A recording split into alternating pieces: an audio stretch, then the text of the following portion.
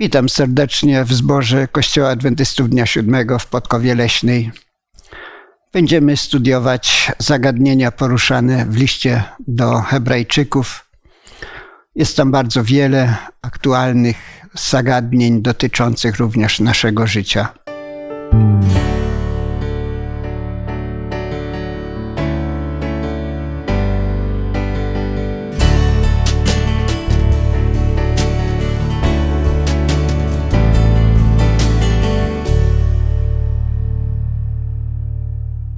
Dzisiaj wspólnie ze mną biorą udział w tym studium e, Jonatan, Janusz, Esterka, no i ja. Ja mam na imię Julian.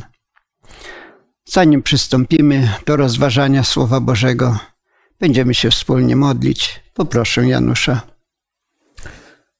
Nasz święty i dobry Ojcze, który mieszkasz w niebie, Przychodzimy do Ciebie jako Twoje dzieci, aby Tobie dziękować za to, że dajesz nam możliwość kolejny raz spotykać się, otwierać Twoje słowo i studiować.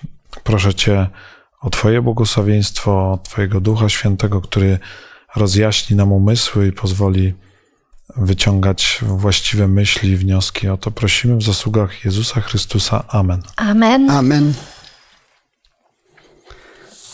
Pierwszy rozdział wprowadza nam Jezusa Chrystusa, pokazuje, kim On jest. I w wierszu piątym jest na przykład tak powiedziane, do którego bowiem z aniołów powiedział Bóg Ojciec, Tyś jest synem moim. Przedstawia więc pierwszy rozdział Jezusa jako syna Bożego, jako tego, który też brał udział w stwarzaniu człowieka.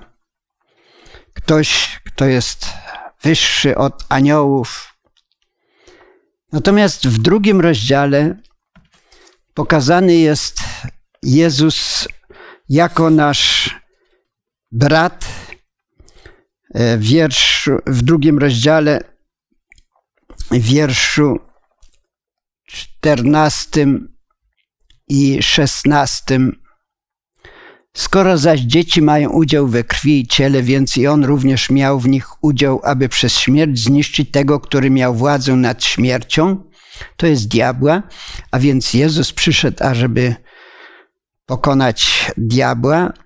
I wiersz szesnasty mówi, że on ujmuje się nie za aniołami, lecz ujmuje się za potomstwem Abrahama.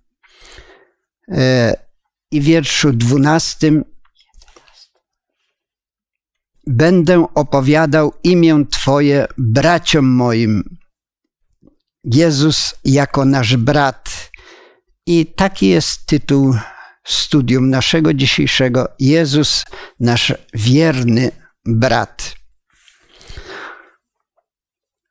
Jezus nie tylko był bratem, ale mówimy, że On jest też naszym odkupicielem, naszym zbawcą.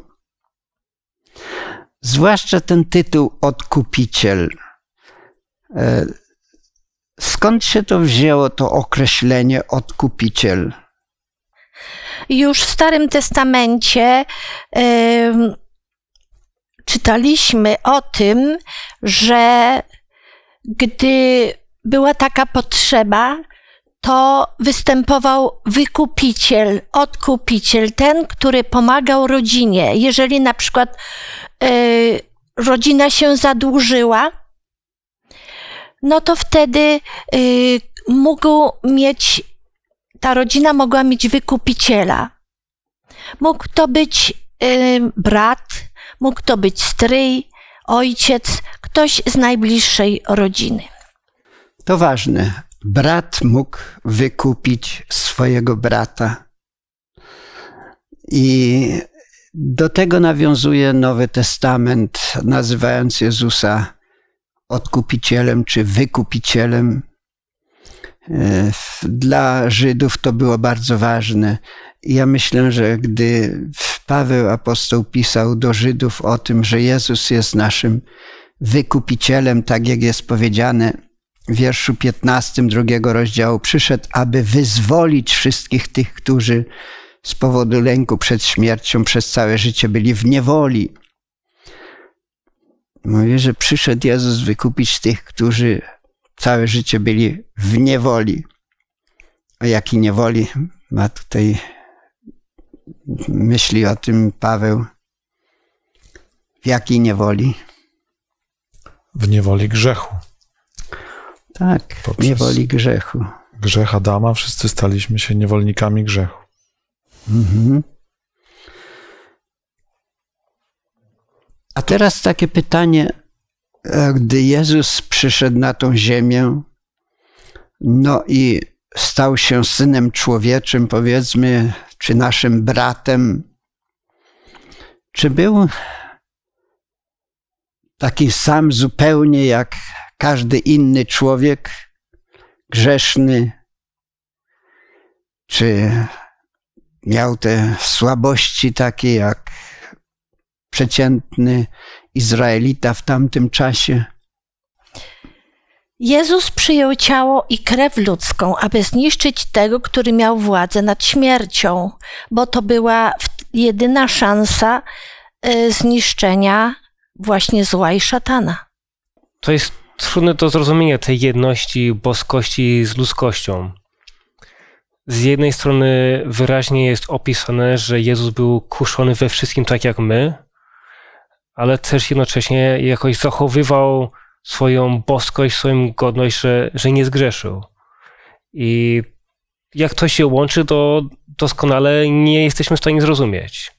Ale wystarczy to, że on był w ludzkiej istocie we wszystkim próbowany jak my, a też był w tym niegrzeszny.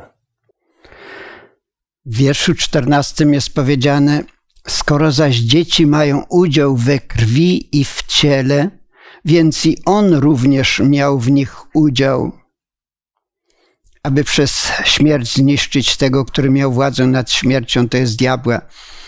To wyrażenie krew i ciało. Jezus też miał udział w tym ale gdy czytamy pewne wersety, to to określenie krew i ciało symbolizuje coś, co jest takie e, albo grzeszne, albo nie w pełni doskonałe. Może jakiś przykład, e, powiedzmy, e, mowa jest o Piotrze, że kiedy Jezus powiedział, Y, zapytał, kogo, za kogo mnie uważacie, to Piotr wyrwał się i powiedział: Ty jesteś synem Bożym. No, a Jezus powiedział mu wtedy: No, Piotrze, tego ciało i krew ci nie objawiły. Co to znaczyło? Krew i ciało to rzeczywiście takie no, przymioty ludzkie, człowiecze. E, I apostoł Paweł często nawiązuje, że są sprawy duchowe i sprawy takie doczesne, fizyczne. Więc krew i ciało y, utrzymują nas tutaj na tej ziemi. Y, żyjemy i tak musi być, ale to Duch Boży objawił Piotrowi, kim kim jest Jezus. Czyli to ciało, które przyjął Jezus, e, nie było całkiem takim, jak mieli ludzie ówcześni, bo wiemy, że Jezus nie popełnił grzechu. Tak jest też napisane w liście do Hebrajczyków. Więc e, to było, było krew i ciało, bo Jezus miał krew i ciało, bo był głodny nieraz i utrudzony, ale jednocześnie w wierszu 17 jest napisane, dlatego musiał we wszystkim upodobnić się do braci, aby mógł zostać miłosiernym i wiernym arcykapłanem. Zwłaszcza to wyrażenie upodobnić się. Podobny to jest To jest podobne, to nie jest ten sam, czy nie całkiem taki sam. Myślę, że warto tutaj dodać, że to, jak mamy opisane w Piśmie Świętym naturę Jezusa, jego przyjście na ziemię, tą inkarnację jako człowieka, jest pewnym zakresie tajemnicą dla nas. Jest to objawione na tyle, na ile objawia nam to Pismo Święte, ale poniekąd jest to tajemnica, więc wszystkiego w stu procentach nie jesteśmy w stanie zrozumieć. I tak jak tutaj Pismo Święte mówi, był podobny do braci, miał udział we krwi ciele, czyli to takie określenia, które są dla nas zrozumiałe naszym językiem i pokazują, przekładają tą niezrozumiałą rzeczywistość na nasz zrozumiały język, ale zawsze będzie troszeczkę jednak tej tajemnicy tego boskiego e, pierwiastka w tym.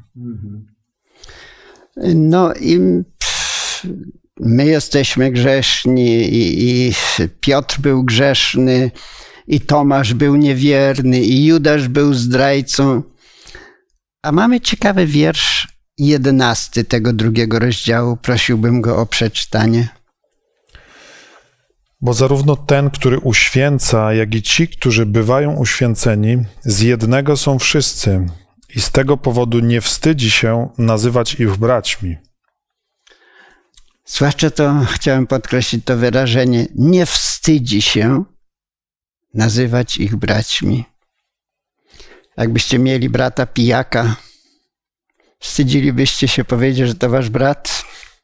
Na pewno. Ja myślę, że my to takim jesteśmy, coś w rodzaju takich pijaków czy takich grzesznych istot. Jezus nie wstydzi się nazywać nas braćmi. W księdze Rut widzimy taki przykład odkupiciela, gdzie Boaz jest takim sprawiedliwym odkupicielem, a odgrywa tą rolę, bo był inny, bliższy, który nie chciał wypełnić tą rolę. I jaka hańba musiała być na nim, że po prostu on nie chciał spełnić swoją rolę. A tutaj Jezus gra taką rolę. On jest tym sprawiedliwym odkupicielem i chce swój kościół, swoją dziewicę po prostu uratować. I tutaj mamy taki piękny przykład tej księdze Rut, co Żydzi sobie przypominali każdego roku. To tutaj ten obraz odkupiciela jest bardzo świeży dla Hebrajczyków, bo oni to to każdego roku do święt czytali. A że to jeszcze, to jeszcze tutaj Paweł przybliża, że on się nie wstydzi być tym odkupicielem. Mhm. Że on pierwszy po prostu wychodzi z tą inicjatywą, to to jeszcze bardziej przybliża tą miłość boską. Tak.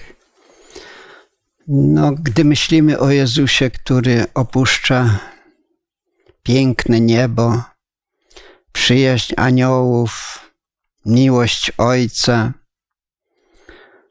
i przychodzi tutaj na tą ziemię.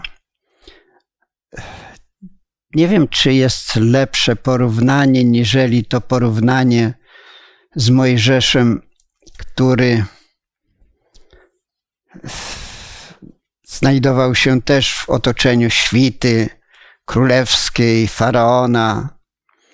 Był szanowany przez wszystkich. No i później te wersety, które mówią o tym, co zrobił Mojżesz, Hebrajczyków 11, 24 do 26. Prosiłbym też o przeczytanie.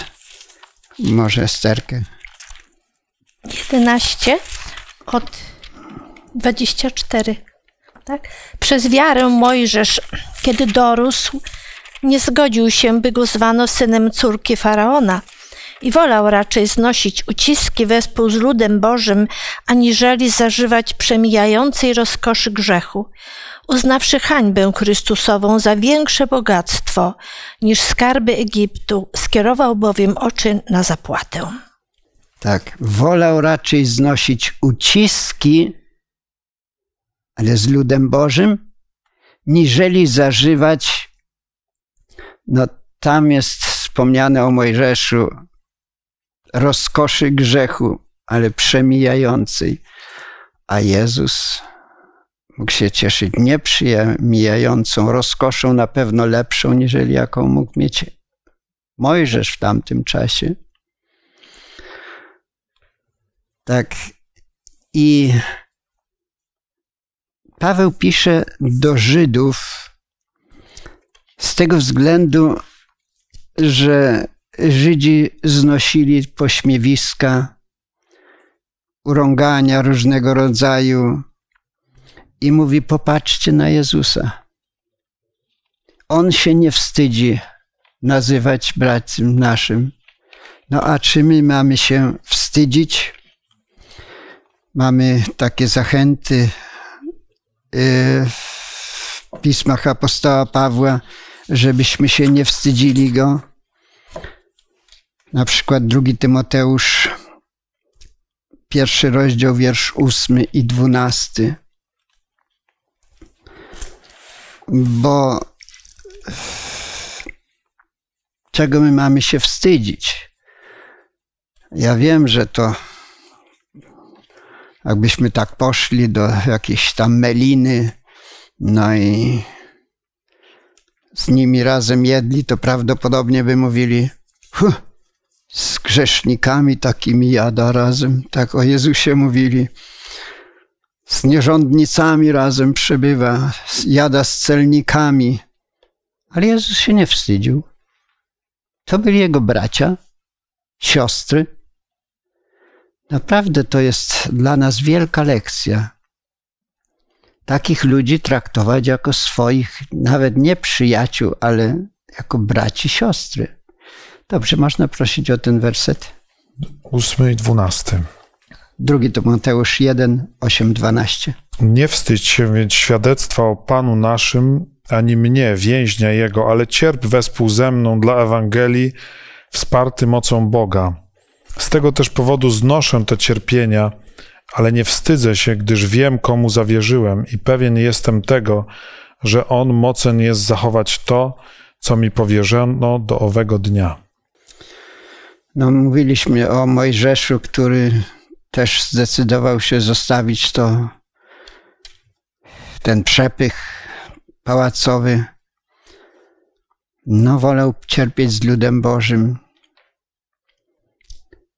I Paweł też był człowiekiem wykształconym na jakimś stanowisku tam i zdecydował się cierpieć. Tyle wycierpiał, ile on podaje tam, rozbił się z nim okręt, był biczowany i tak dalej. No i pisze do Tymoteusza, i ty cierp też i nie wstydź się. Jest to jakaś lekcja poglądowa dla nas. Tutaj ważne Proszę jeszcze bardzo. zwrócić na ten fragment 12 wersetu, który mówi: Gdyż ja wiem, komu zawierzyłem i pewien jestem, że on mocen jest zachować to, co mi powierzono. Kiedy człowiek jest przekonany do czegoś i wie, komu zawierzył, wtedy jest mu łatwiej znosić nawet cierpienia. I tak jak apostoł Paweł właśnie tutaj mówi, że znoszę z tego powodu cierpienia, bo ludzie raczej nie znoszą cierpień dla jakiegoś niewiadomego celu albo dla samego cierpienia. Pan Jezus nie wstydził się nazywać ludzi swoimi braćmi. I też jest powiedziane w Piśmie Świętym, że każdego więc, kto mnie wyzna przed ludźmi, i ja wyznam przed Ojcem moim, który mieszka w niebie.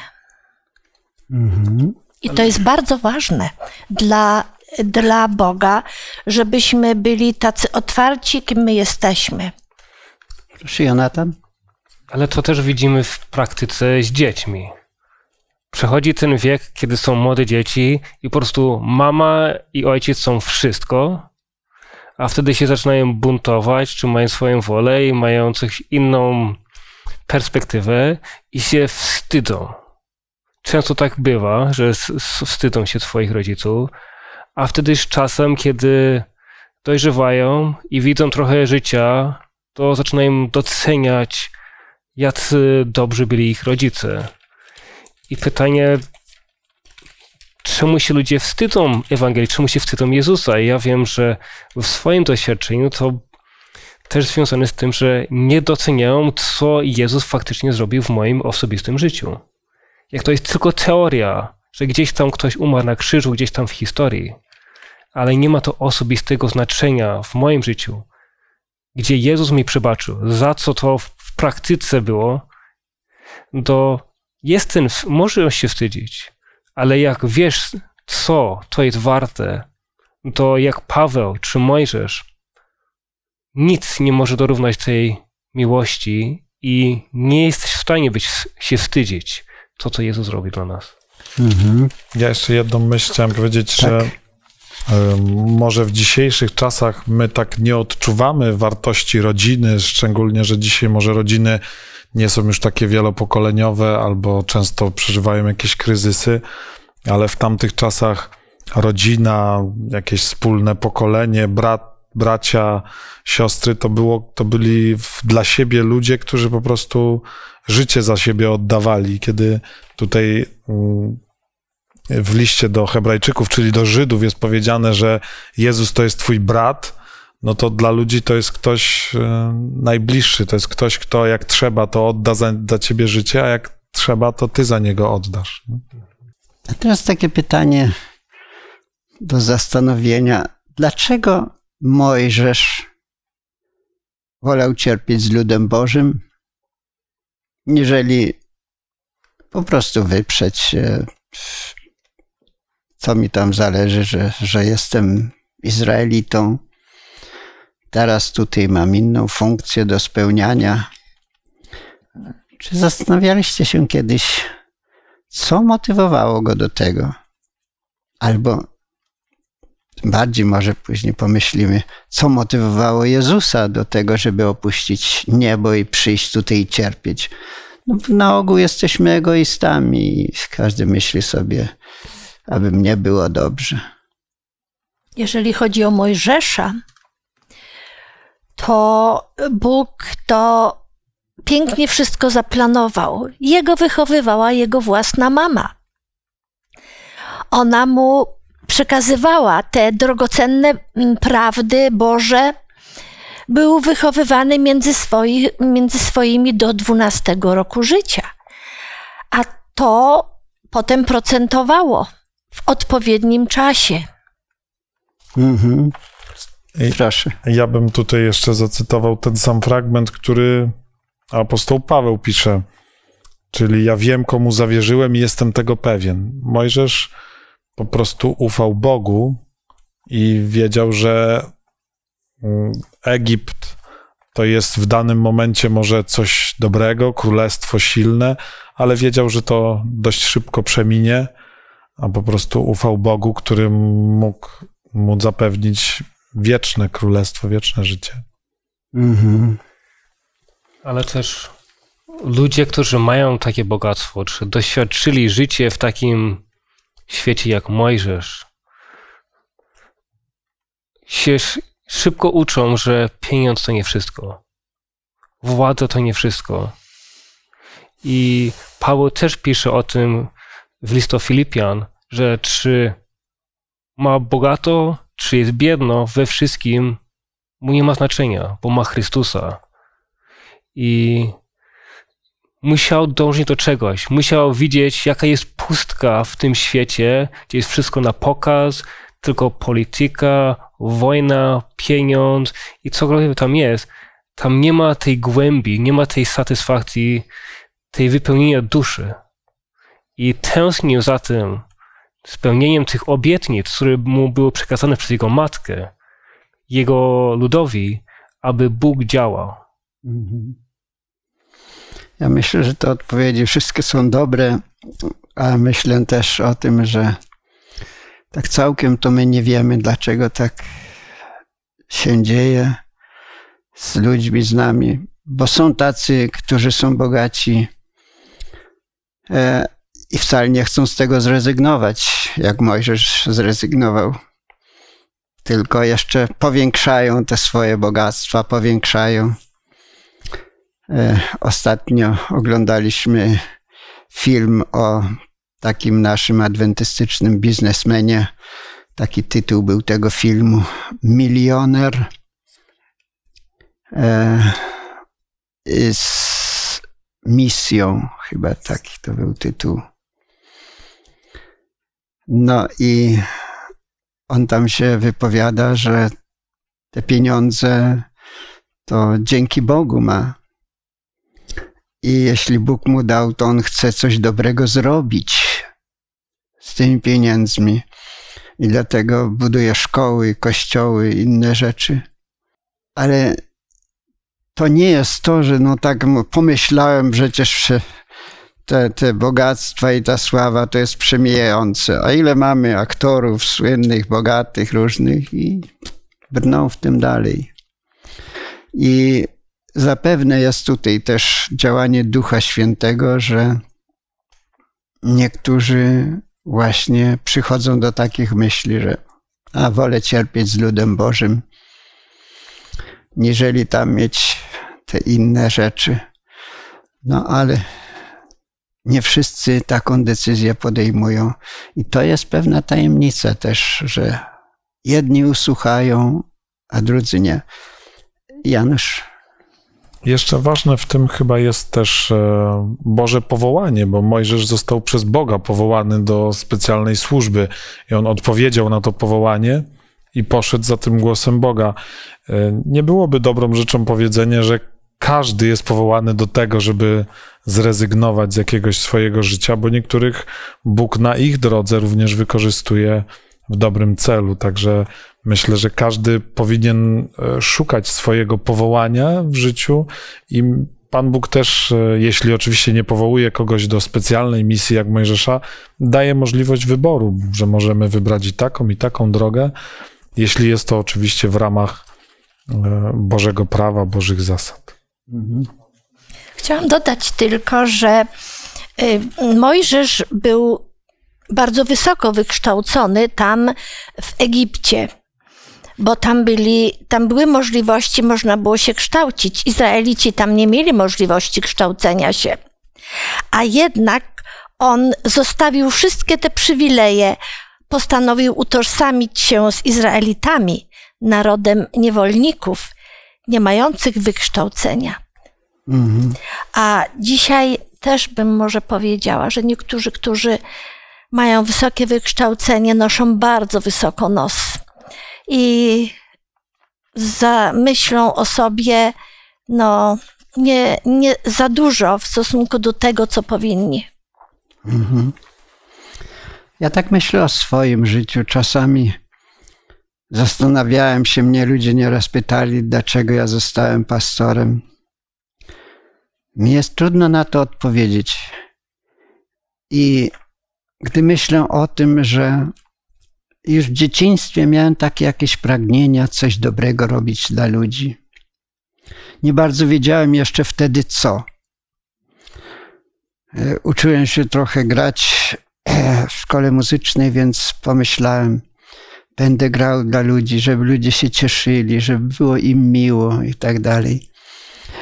I no różne myśli, a później jak już dalej szedłem, to myślałem już później też o służbie pastorskiej, chociaż myślałem, że do tego się nie nadaje. No ale tak się to stało. Ale te pierwsze myśli, tak się zastanawiam, skąd one się brały.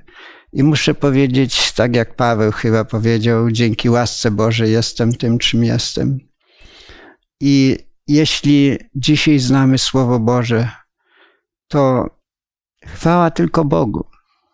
To nie jest z nas, że akurat wyczytałem coś i takie wiem już, że powinien tak zrobić. Mojżesz mógł się oprzeć wszystkiemu i zostać przy władzy. Niektórzy po trupach szli, mordowali innych, żeby tylko tę władzę utrzymać. A on mógł to utrzymać, a jednak zrezygnował.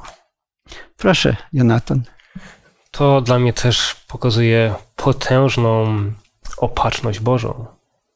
Że tak jak wspominaliśmy, my nie wybieramy swoją rodzinę. Ja nie wybrałem swojej matki ani ojca, a jednak Bóg prowadzi przez całą rodzinę. I w tym, że Bóg powołuje poszczególnych osób i daje różne możliwości, to jeszcze bardziej widzimy tą łaskę Bożą, że mamy różne przywileje i nie wstydzić się i dzielić się tą dobrą nowiną, co mamy. Tak jest. E, Przejdźmy do innych jeszcze myśli, które są w liście do Hebrajczyków. I może przeczytamy drugi rozdział, wiersz 10, 17 do 18. To Esterka, może ty przeczytasz, a piąty rozdział, ósmy i dziewiąty wiersz Janusz. Czytam wiersz dziesiąty. Przystało bowiem, aby ten, dla którego i przez którego istnieje wszystko, który przywiódł do chwały wielu synów, sprawcę ich zbawienia uczynił doskonałym przez cierpienia. Dlatego musiał we wszystkim upodobnić się do braci, aby mógł zostać miłosiernym i wiernym arcykapłanem przed Bogiem dla przebłagania go za grzechy ludu a że sam przeszedł przez cierpienia i próby, może to pomóc tym, którzy przez próby przechodzą. Dziękuję. Mianowicie Bóg uczynił Jezusa, jak tu jest w wierszu dziesiątym powiedziane, doskonałym przez cierpienia. Y, Czy Jezus rzeczywiście musiał przechodzić te wszystkie cierpienia, żeby, żeby być mm, nie wiem, doskonałym y, i nie zgrzeszyć, no i być takim wiernym naszym bratem i, i pośrednikiem między Ojcem a nami. Zanim odpowiemy jeszcze na to pytanie, to przeczytajmy piąty rozdział, wiersz ósmy i dziewiąty. I chociaż był synem, nauczył się posłuszeństwa przez to, co wycierpiał, a osiągnąwszy pełnię doskonałości, stał się dla wszystkich, którzy mu są posłuszni, sprawcą zbawienia wiecznego. Czy Jezus musiał przez cierpienie nauczyć się czegoś, co było potrzebne do zbawienia ludzi? Trudne pytanie. Trudne pytanie, ale chyba nie. E, To jest ogólnie trudne pytanie, na które często, które często ludzie się spierają, czy cierpienie, jakieś złe rzeczy, które nas spotykają, e, są wyzwalaczem czegoś dobrego. No bo tak wynikałoby jakby z tych tekstów, że Jezus nie był doskonały, ale przez cierpienie stał się doskonałym. Czyli wniosek z tego logiczny, cierpienie nas udoskonala. I myślę, że jest to błędny wniosek, bo żadne cierpienie ani żadne zło, które nas spotyka, nie jest e, przez Boga zsyłane, aby nas udoskonalać, Mm, ale jedynie zdarza się tak czasami, że Bóg wykorzystuje to cierpienie dla jakichś dobrych celów, żeby coś się zmieniło w naszym życiu. Trudno odpowiedzieć na to pytanie w kontekście Jezusa Chrystusa, bo Jezus był doskonałym i przyjmując ludzkie ciało, nie przestał być doskonałym, więc e, czy on mógł się w jakikolwiek sposób udoskonalać jeszcze, tego nie wiem, ale na pewno to całe doświadczenie sprawiło, że e, Jezus mógł wypełnić ten plan, który Bóg e, założył, czyli ten jego plan stał się doskonały, nie, że jego osoba jakby potrzebowała udoskonalenia. Y, Jezus, gdy był w niebie, to znał tylko e, posłuszeństwo, które jemu okazywano, bym powiedział. A teraz przyszedł na ziemię, no i spotkał się z potrzebą takiego posłuszeństwa Bogu. Powstaje tylko pytanie, czy Jezus doskonale był posłuszny bez tych cierpień, jak gdy myślę o tym, że od dzieciństwa był posłuszny rodzicom, czyli można by wnioskować, że nie potrzebował rzeczywiście tego cierpienia. Esterka, chciałaś powiedzieć No, coś? Chciałam powiedzieć to, że w naszym życiu bywa odwrotnie. Często jesteśmy grzesznikami wielkimi. Gdy poznajemy Boże przesłanie, wtedy przybliżamy się, udoskonalamy się, uświęcamy się. A w życiu Jezusa to było odwrotnie, ponieważ on już był bardzo wysoko, był yy, królem, był stwórcą i miał władzę, a on musiał uczyć się tej uległości, posłuszeństwa, Mhm. uniżoności i jeszcze do tego cierpieć, bo na pewno cierpiał, bo przecież bywał i głodny, i, i wiele rzeczy doznawał jak każdy człowiek. Był, był cieślą, na pewno uderzył się w palec, zranił się. Mhm. No, od dzieciństwa uczył się różnych rzeczy i zapewne też się uczył posłuszeństwa. Ważne jest, że był doskonały w tym. I teraz, gdy czytamy dwunasty rozdział, wiersz pierwszy i drugi, Czytam ze słowa Nowego Przymierza. Z tego powodu my, otoczeni tak wielką rzeszą świadków, odrzućmy wszelkie przeszkody oraz krępujący nas grzech i biegnijmy wytrwale w wyznaczonym nam wyścigu. Utkwijmy wzrok w Jezusie, w tym, który wzbudza i doskonali wiarę i który ze względu na czekającą go radość wycierpiał krzyż niezwyczajnie zważając na hańbę i zajął miejsce po prawej stronie tronu Boga. Dziękuję.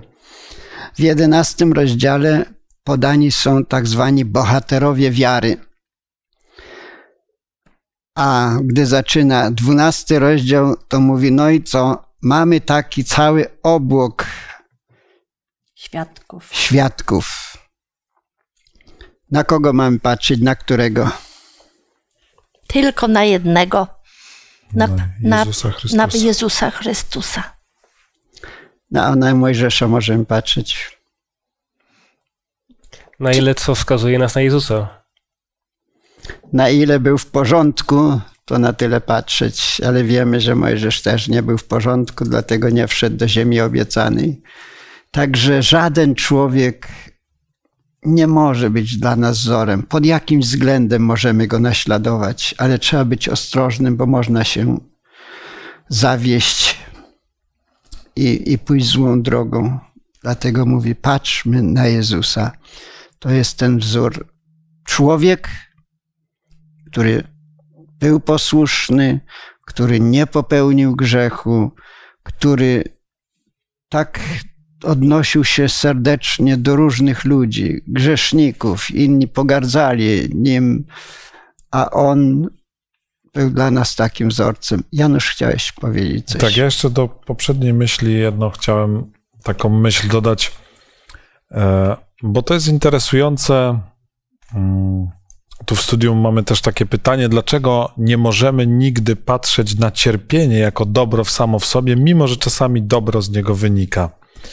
I mi zawsze przychodzi tutaj na myśl e, historia e, Józefa, który w, po spotkaniu z braćmi mówi do nich: Wyknuliście zło przeciwko mnie, a Bóg obrócił to w dobro.